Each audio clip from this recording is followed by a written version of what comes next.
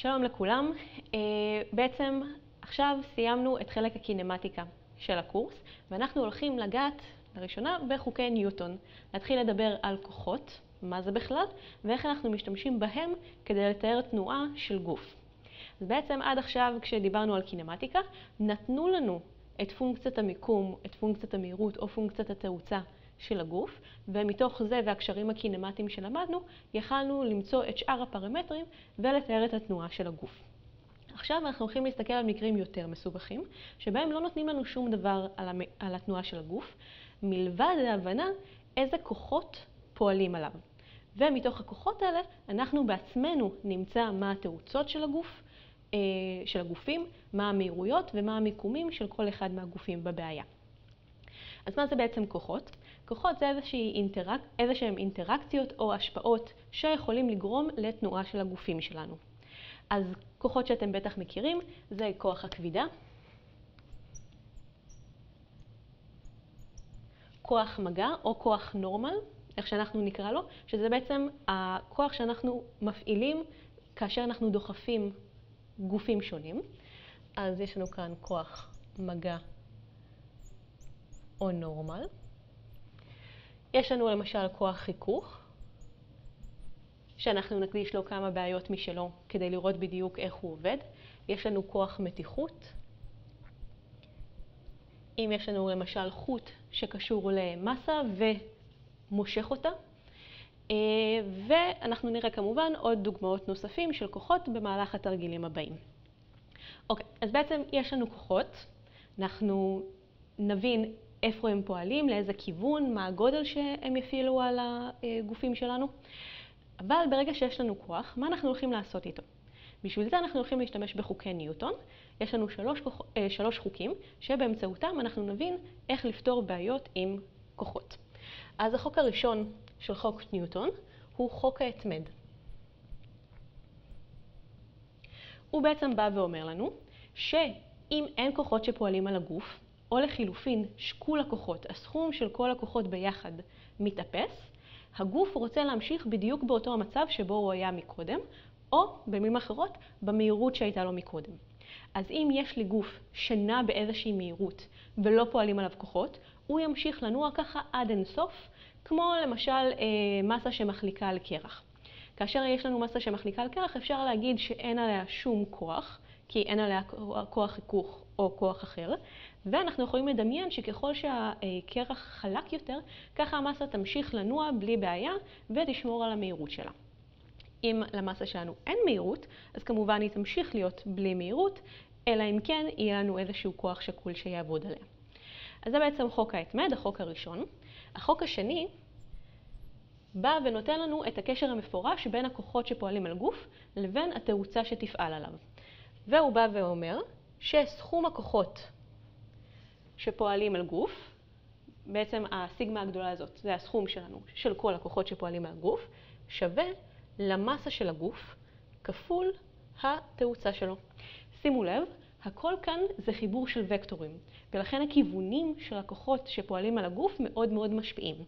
אם יהיו לנו כוחות מנוגדים באותו הגודל, ברור לנו שהכוח השקול, הכוח שבסך הכל עובד על הגוף הוא אפס, ולכן גם לא תהיה לנו תאוצה על הגוף.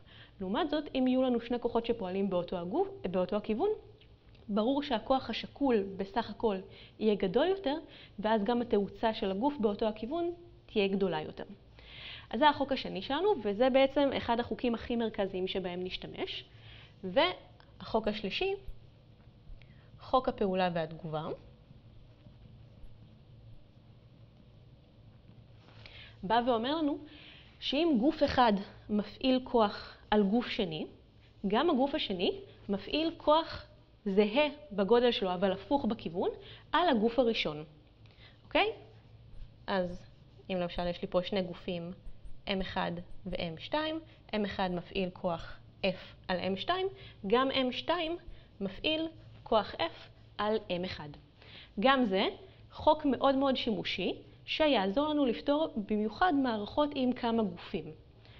אוקיי, אז אלה בעצם שלוש החוקים שבהם נשתמש בעיקר כשנפתור בעיות של כוחות באמצעות חוקי ניוטון, והתהליך או יותר נכון, המסלול שבו אנחנו נעבור, בדרך כלל יהיה דומה. כמובן יכולים להיות קצת וריאציות בין תרגיל לתרגיל, אבל באופן כללי אנחנו נתחיל מזיהוי המסות במערכת. אוקיי?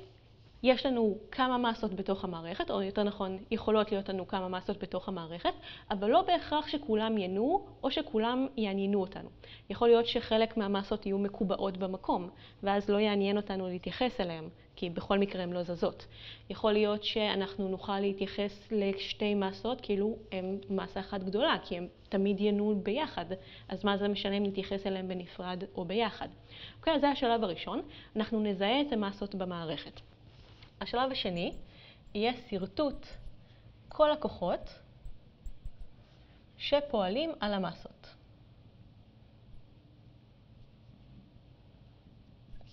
אנחנו ניקח בנפרד כל אחת מהמסות ונזהה בדיוק איזה כוחות פועלים על כל אחת ונסרטט אותם. בשלב הזה אנחנו נבחר מערכת צירים. למה אני אומרת שנבחר? מכיוון שמערכת הצירים זו בחירה שהיא לחלוטין שלנו. אנחנו יכולים לבחור למשל מערכת צירים קרטזית שתראה ככה. אנחנו נוכל לבחור מערכת צירים קרטזית שתהיה באיזושהי זווית הטיה כלשהי. למשל כזאת, אם זה יהיה לנו יותר נוח. אנחנו נוכל לבחור גם מערכת שבה למשל ציר y יהיה כלפי מטה ו-x עדיין יהיה ימינה. וכמובן אנחנו נוכל גם לבחור מערכת צירים פולרית. אם למשל תהיה לנו בעיה עם סימטריה מעגלית, ואז יהיה לנו נוח יותר לעבוד במערכת פולרית במקום במערכת קרטזית. זאת תהיה לחלוטין הבחירה שלנו, והבחירה הזאת לא תשנה את הפיזיקה של הבעיה. הפיזיקה של הבעיה נשארת אותו הדבר, לא משנה מה אנחנו נבחר כשאנחנו נפתור מתמטית את הבעיה. ההבדל היחיד זה שיכול להיות שבצורה אחת יהיה קל יותר לפתור את התרגיל מאשר בצורה אחרת. ומתוך פתרון של הרבה בעיות והרבה תרגילים, אתם תקבלו איזשהו חוש איזה מערכת תהיה קלה יותר לפתרון עבור איזה, אה, איזה מערכת. אוקיי, אז אחרי שאנחנו בוחרים מערכת צירים, אנחנו נצטרך לבנות את משוואות, אה, את משוואות התנועה. אז בנייה של משוואות התנועה. אנחנו בעצם נפרק את הכוחות לצירים לפי המערכת צירים שבחרנו, ונמצא לפי זה את התאוצה של כל אחת מהמסות בכל אחד מהצירים. ברגע שיהיה לנו את התאוצה, נוכל גם למצוא מתוך קשרי הקינמטיקה שכבר ראינו את המהירויות ואת המיקום.